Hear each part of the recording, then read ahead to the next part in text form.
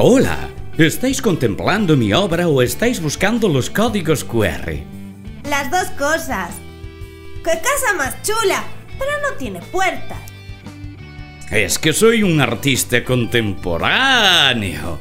Se llama Acasiña y el material es granito gris perla de Mondariz. A mí me parece que está en armonía con la naturaleza.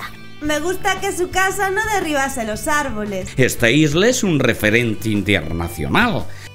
Hay artistas que son de lo mejor del mundo. Pero seguro que queréis ir a la siguiente parada y encontrar el código QR, ¿no es así? ¡Claro!